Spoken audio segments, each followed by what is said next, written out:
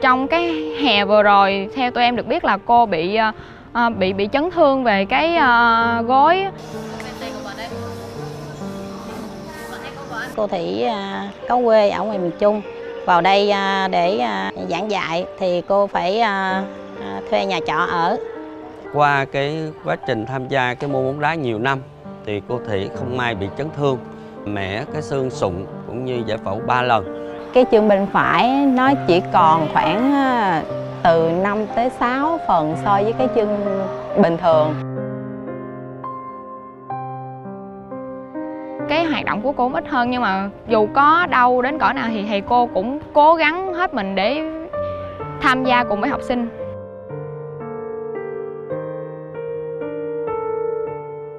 Tôi phải nói rằng rất uh, xúc động khi thấy uh, cô Thủy tập tuyển tỉnh mà đi dạy hoặc là tham gia các hoạt động chung của nhà trường.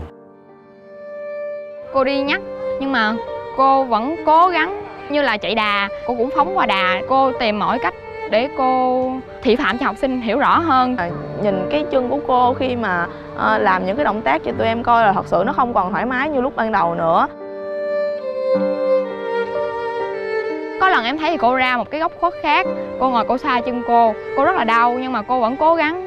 Mỗi lần về như vậy chân đau á thì chị nó phải nhờ lấy đá để chườm chườm thẳng lên cái chân như vậy để cho nó giống như một cái cách để gây tê đi để cho cái chân khỏi đau. Thì đến như vậy đến hôm sau chị mới có thể bắt đầu đi dạy lại được bình thường. Nhưng mà mỗi ngày chị thủy vẫn rất là cố gắng để mà tập luyện đi bằng à, xe đạp của học trò đó sau những cái buổi học thì em thấy cô thường ở lại à, trường và tập à, vận động Thủy ơi, em có thể được xem như là một cái ngọn lửa truyền nhiệt huyết, đồng quyết tâm hoạt động hết mình vì phong trào của trường. Dù ở phía trước còn nhiều khó khăn, nhưng mà em tin là Thủy sẽ vượt qua được. Thương nhất uh, cô Thủy khi cô Thủy đã thể hiện những cái nghị lực, cái sự cái tâm quyết của mình cho trường. Tôi cảm ơn cô Thủy rất là nhiều. Em cảm ơn cô dù sức khỏe của cô có yếu hơn lúc trước nhiều, chân cô có đau hơn lúc trước nhiều nhưng mà cô vẫn luôn luôn tìm mọi cách để uh, giúp cho tụi em đạt được kết quả mà em mong muốn. Suốt 2 năm gắn bó với cô thì à, con cảm giác được cái tình thương và cái à, sự tận tụy của cô dành cho tụi con và con muốn nói là con yêu cô nhiều lắm.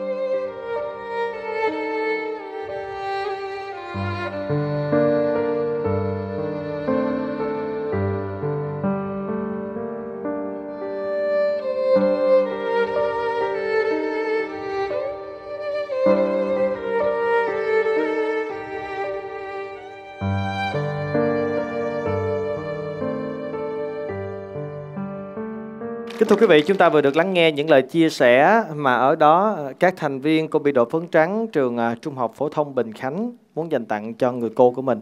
Xin phép được mời cô Thủy có thể lên đây cùng với các bạn có được không ạ?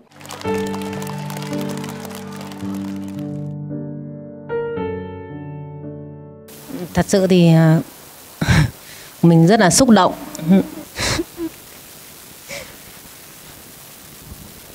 Ngày xưa khi mà khi mà mình về đây dạy thì mình mình xác định là học xuống đây học sinh rất là dễ dễ thương. Học sinh rất là đáng, đáng yêu.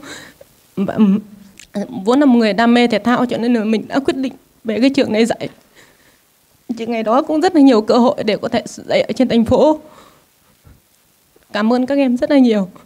Tụi em muốn ờ, dành phần thưởng này để ờ, tặng cho cô ờ, như một lời cảm ơn và À, tụi em uh, muốn nói với cô rằng là uh, cô không chỉ là người thầy dạy cho tụi em những bài học trên lớp mà cô còn là người truyền cho tụi em cái nghị lực và sức mạnh trong cuộc sống. Kính thưa quý vị, như vậy thì ngày hôm nay biệt Đỗ phấn trắng đã đến với trường Trung học phổ thông Bình Khánh ở huyện Cần Giờ, thành phố Hồ Chí Minh, được gặp gỡ với cô Thủy, được gặp gỡ với tất cả các bạn học sinh của trường Trung học phổ thông Bình Khánh. Để rồi chúng tôi nhận ra một điều rằng là thái độ lạc quan và tinh thần sống của các thầy cô chính là những cái điều tuyệt vời nhất mà các bạn đã học được thông qua quá trình mà các bạn được tiếp xúc với tất cả quý thầy cô. Xin chúc cho tất cả quý thầy cô của trường Trung học phổ thông Bình Khánh cũng như là tất cả quý thầy cô đang công tác công việc của mình sẽ luôn dồi dào sức khỏe. Còn bây giờ thì xin chào và hẹn gặp lại trong những số phát sóng tiếp theo của biệt đội Văn Trắng.